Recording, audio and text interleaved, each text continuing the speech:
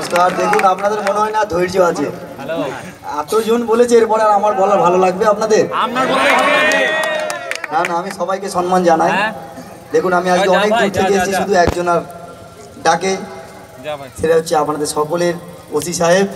মিনালদা কিন্তু আমার বড় দাদার মতো বলে দিই আমি যে কোচের আন্ডারে প্র্যাকটিস করতাম উনিও কিন্তু এই কোচের আন্ডারে প্র্যাকটিস করতেন।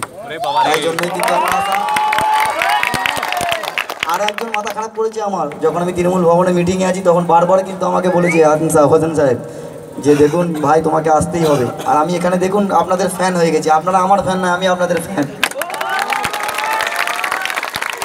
দেখুন, আমি জানি এই মাঠটা খেলার উপযোগী নয়, কিন্তু তারপরেও যে আপনারা যে দুটো টিম ফাইনাল খেললেন, আমি বিশ্বাস করুন, কলকাতা মাঠে এত ভালো অ্যাগ্রেসিভ ম্যাচ হয় না। দুটো টিমের খেলা থেকে আমার এত ভালো লাগল, যারা কোনোদিন কোচিং পায়নি, তারপরেও এত ভালো ফুটবল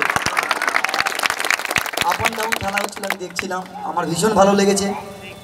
আরও ভালো লাগছিল, কিছু প্লেয়ার এখানে আছে যারা হয়তো কোনোদিন কোচিং পায়নি, তারপরেও তারা তাদের ডেডিকেশন তাদের ফাইটিং তাদের মানে কি বলব, অনেক কিছু আমার অনেক কিছু শিখতে পারছিলাম। কেন, আমি এখানে বসে যখন দেখছিলাম, আমি কিন্তু এরকমভাবে গ্রামের ছেলে। আমি কিন্তু কলকাতার ছেলে নয়।